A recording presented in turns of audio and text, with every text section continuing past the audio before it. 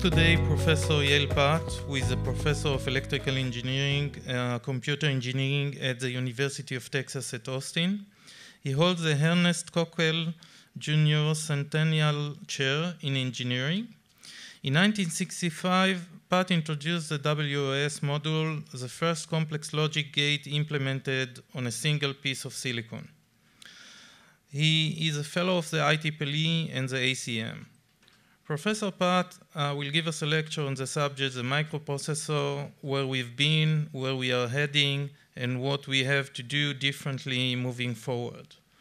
I do hope that he got here in a good mood today because he is well known for being a, a highly entertaining lecturer. Professor Patt. Uh, the problem with telling them I'm entertaining is that you raise their expectations, and that's always dangerous, see?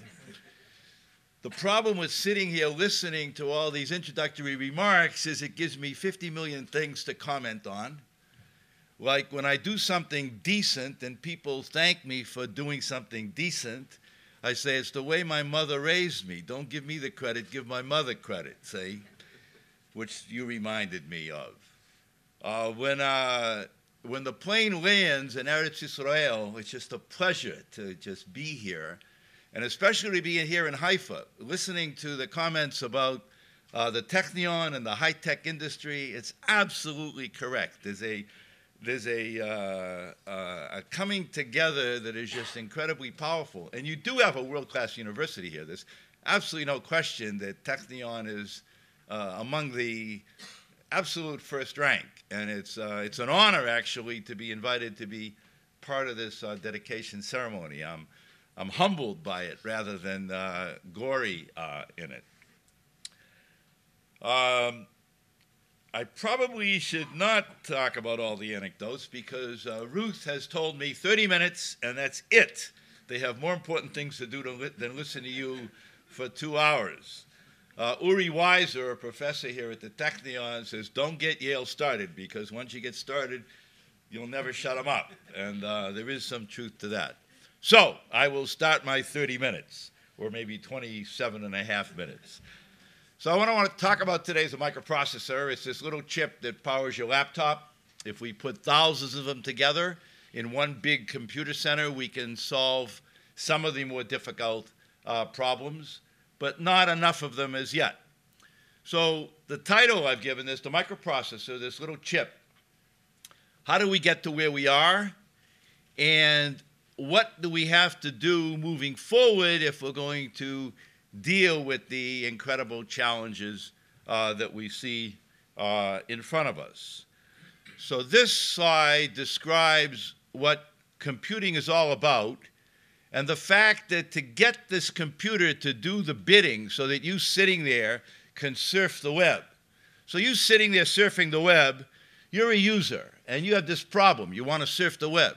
You may know nothing about computers. You probably don't care about computers. But for you to surf the web, the computer has to execute a program to allow you to be surfing the web, and that's the program. And that program needs to be translated into the zeros and ones that the microprocessor can understand. And this is the ISA of the microprocessor that it understands.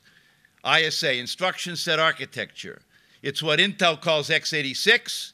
And if you visit their design center in Haifa, they will talk to you about the zeros and ones that separate what the software produces and requires the hardware to carry out the work that the software wants. The ISA, that interface. If you uh, visit the people at IBM, another major facility here in Haifa, I'm telling you this, this confluence of industry and, and academia here is just incredible. Oh, I forgot, I do have to say one thing. The president, he is a professor, and he understands that what, and I wish that some of the deans I have in my university would understand it as well what a university is all about. And Henry Taub had it right, and you had it right when you immediately said what we need is professors. You had it half right. What you need is professors and students. And what the university is all about is professors and students. And everybody else, the president included, it's your job to make it so professors and students can get their job done, which is all about knowledge, advancing it, which is what research is all about, and imparting it, which is what teaching is all about. Unfortunately, there are too many administrators in the U.S. that don't get it. But here at Technion, you do, and I'm delighted uh, with that. In any case, that x86 or that PowerPC that IBM talks about has to be implemented. And those are the chips. And the chip, somebody designs the structures that are going to implement, and then somebody below that has to design the circuits to implement those structures. And those circuits is what produce the voltage differences that allow electrons to go from one potential to another, actually solving the problem. And there are people working at each one of these uh, layers. People who have problems to solve in natural language, like Hebrew or English or Arabic or French. People who design the actual algorithms to solve those problems people who turn those algorithms into programs and all the way down. In fact, if I could only speak the language of the electrons, I can't. Most of you in this room are bilingual. You speak Hebrew, you speak English. Some people speak three languages, trilingual. Unfortunately, I speak one language, English. I'm what they call an American. If I could speak the language of the electron, what I could do is go up to the computer and go, Electrons, I want you to write a program. I want you to allow this person to surf the web. And the electrons would say, Yes, sir. And they would then take what the user clicking on the mouse would do and surf the web. Unfortunately, I can't speak electron, and the electrons can't speak English. And so I have to go through all these layers to get the electrons to do my bidding. And what we have, some people in this room, certainly people all over the different subdisciplines of the Technion, people working at each one of these layers in order to make all this happen. The problems. What are the problems? So I've given three examples of the problems problems for the future, problems that we need the computer to be able to deal with. The first one is easy self driving cars. 20 years from now, probably 10 years from now, I usually get it wrong when I estimate when it will happen. You will walk into your car, you will sit down in the back seat, your weight on the seat will cause, will activate some mechanism which will say, Where to, master? Or where to, mistress? Because we can't genderize people who sit in the back seat of the car anymore. You will say home. And then the computer will look you up, recognize your voice, first of all, so it'll know where home is, look you up in the system, figure out how to get there, and then drive you home. And you can just sit there and read the newspaper or whatever, and it'll all be done. And we'll have that in 20 years for sure. Technology is there today has to be made economical, has to we worry about safety concerns, but that's where the future computer is. At the other extreme is a computer that can think. I don't think so, at least not yet. We frankly do not understand yet, and this is for the, the psychology people and for the neuro people and for the people that really understand the brain to really understand the brain. People modeling the brain, no way we have a long breakthrough required before the computer is going to be able to think. So, in the next 50 years, maybe that breakthrough will happen. I don't know. The middle one, I say hopefully. And if we do our job right in the computer industry, maybe we can, 20 years from now, have a computer that can, in fact, find a cure for cancer. That is, to harness the capability that is available to make the computer be able to solve the problem that would take years of computer time to be done fast enough that it could provide a cure for cancer. I use cure for cancer as just an example. Uh, predicting weather so that tsunamis don't devastate us. There are all kinds of problems that right now would take a computer a year you don't know if the tsunami is going to hit tomorrow, having a program that will tell you a year from now that the tsunami will hit tomorrow does you no good.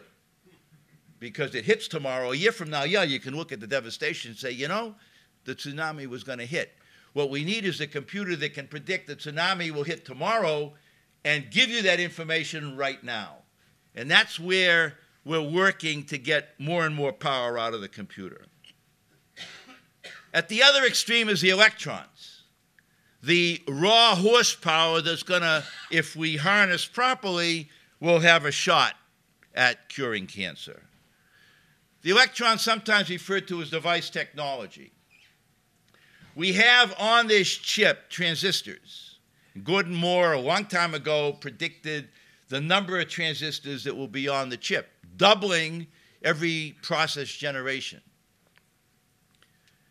As we understand the instrumentation better, we can make the transistor smaller. As we understand the, the, the silicon better, we can make the, wake, the wafer and the chip bigger, which allows more and more transistors to be on that chip. So smaller transistors, bigger chips means doubling the number of transistors on the chip that commonly referred to as Moore's law. The number of transistors on each chip will double uh, every two or three years, and it continues to happen and has been continuing to happen and will continue for at least another uh, decade. So, this device technology, microprocessors started in 1971 with the Intel 4004. 2,300 transistors, that's all, on a chip.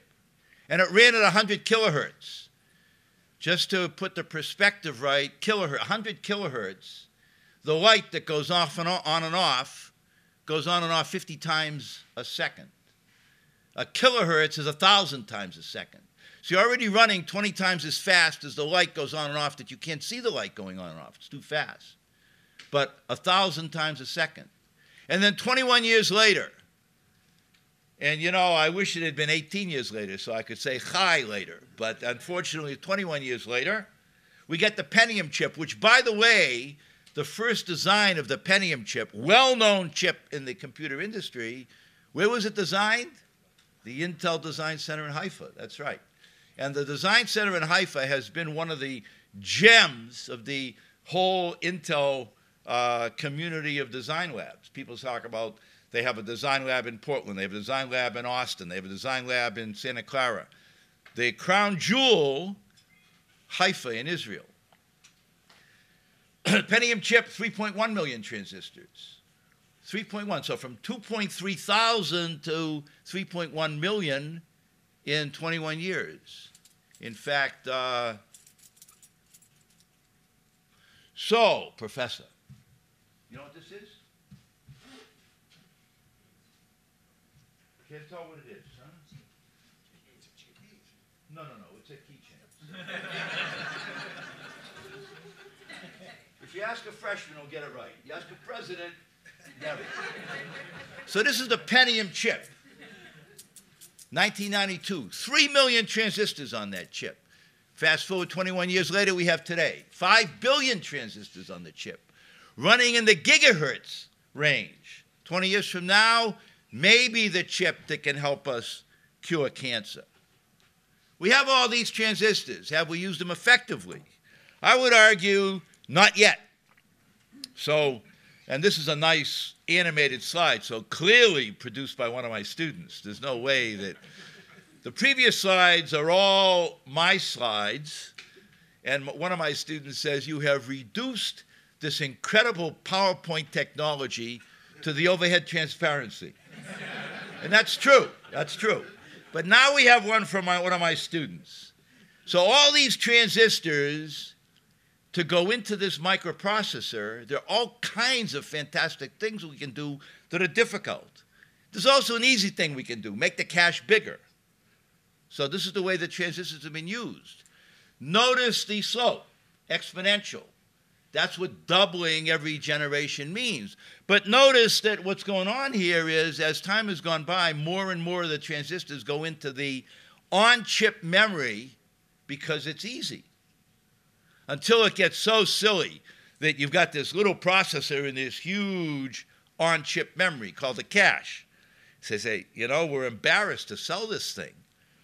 So little processing, so much memory. So what do they do? They invent Core Duo and use some of those transistors to give you a second processor on that chip. And time passes, and once again, so what do they do?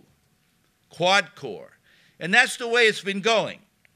Uh, as the number of transistors keeps doubling, they have not been used for the purpose of making the chip more powerful, but rather to simply uh, add to the size of the on chip memory. So, what's it all about? We started out improving the microarchitecture. We did put in a better branch predictor. What that is is not important. It makes the processing run faster. Better branch predictor, the larger on chip memory helps a little, more functional units, all underneath the hood, all so that the programmer doesn't realize what's going on, but producing better performance until it got too hard. And then we moved into phase two, which was multiple cores on the chip, which is where we are today. We talk about multi core chips, and the number keeps growing. It's going to get into the thousands before long. Except now we don't know how to program them. Too many cores, too many processors on the chip. We don't know how to program them. They're consuming too much power. There's a limited availability to go off the chip and bring in the information needed to do the processing. Off chip bandwidth, we call it. And they're already killing us. And as we move forward, when we go from identical processes on the chip to variable processes, heterogeneous, we call them. And some of the parts of the chip will be reconfigurable. That is, you can turn it from one thing into another thing depending on what the application requires.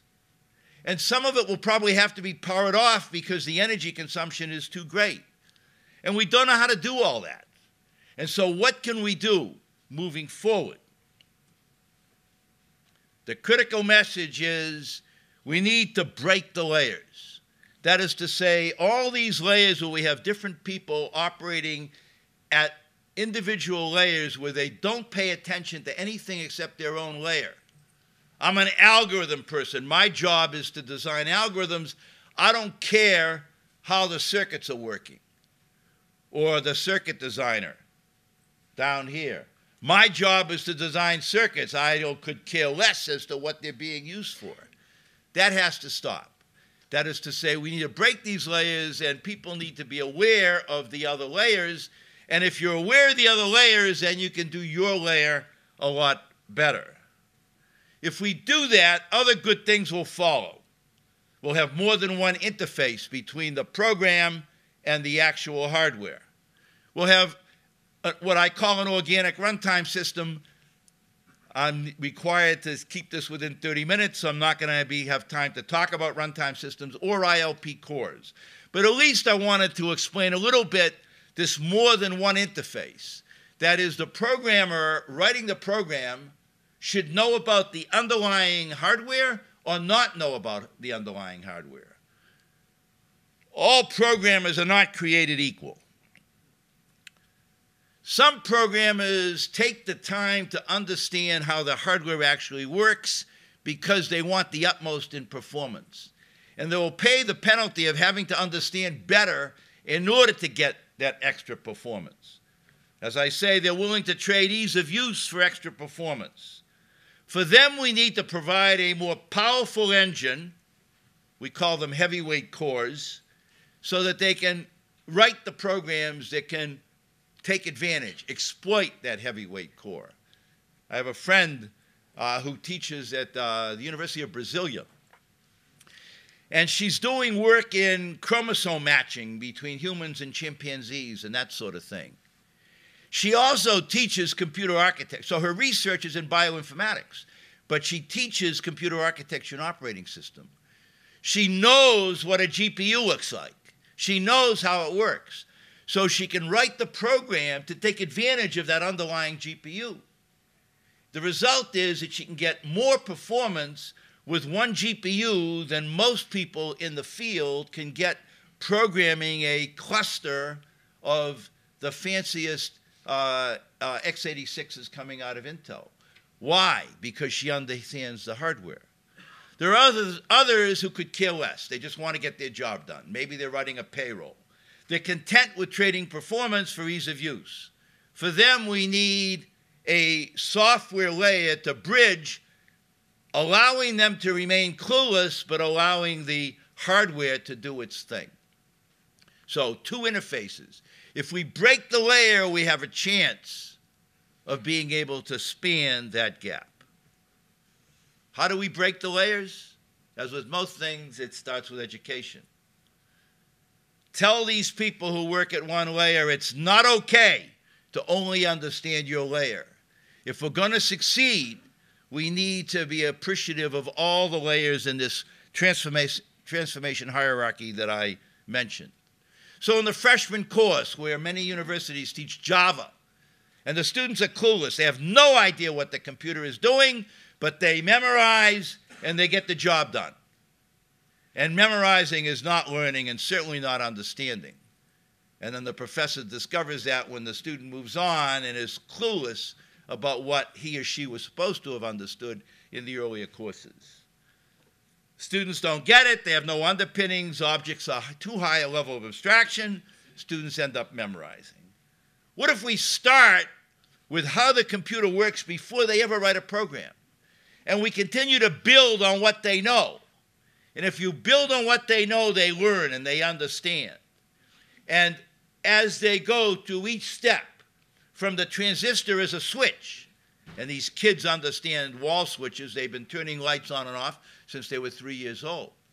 And that's all the transistor is. When I said that this Pentium chip has 3.1 million transistors, each one of them acts like a wall switch. With 3 million wall switches, you can do some pretty, pretty powerful things. Not as much as we need to do, but some pretty powerful things. And as the student keeps building and building and building, the student sees the layers from the beginning. The student makes the connection of the layers. The student understands what's going on. The layers get broken naturally, and the graduate is ready to tackle these tough problems. So I'm back to my first slide. What do we expect of the future? Self driving cars, piece of cake. We'll be there, no question. Thinking, I'm less enthusi- uh, optimistic. But the middle one, curing cancer, predicting tsunamis, etc., with graduates that can produce the technology from understanding the layers, maybe we have a chance of accomplishing that. Thank you.